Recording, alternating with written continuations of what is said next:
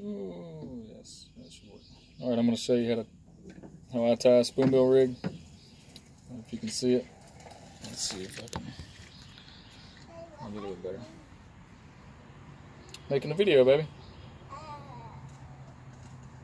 So obviously I don't have a fishing pole. It's just some 65 pound test, a 10 aught, uh, 10 aught barbless treble hook, and a 5 ounce bank sinker. And I learned this technique from Mr. Rusty Pritchard uh, with Pritchard's, Pritchard's Guide Service in Oklahoma. So anyway, so just a little, you know, double loop the line uh, for your weight. I'll just bring it under and bring it back through. Uh, well, if it works.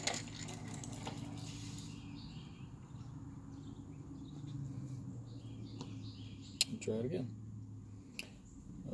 Obviously, give yourself enough to, to do that. Hello. Hello.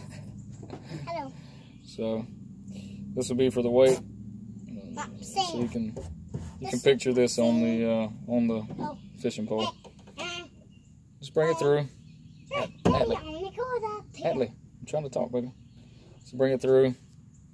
You can double it up if you want, but I've caught over 100 pound fish with that right there, and that works. So then picture this being your line side, your, your um, where you're gonna obviously your line coming from uh, down from your pole. So then I just take and I'll pull. Uh, we'll say we'll say about that much roughly, and then I'll and, and it's doubled up. And I'll bring that through the eyelet there on the hook, and then I'll wrap the shank probably four times. And I'll take the doubled up part and I'll put it over one barb. That's just it, one barb. If I can get it through there. One barb. Well, uh, there we go. All right, then I cinch it down. Now, so now you're left with it not being in line. So now you have to take and just take your couple of your fingers and just double over on the the line and make a little loop and put it over one barb. That's all you got to do. Put it over one barb, and then you can cinch it down and pull it up to the center of the hook and pull really, really, really, really tight. And now it actually it comes down a little bit on one of the one of the barbs.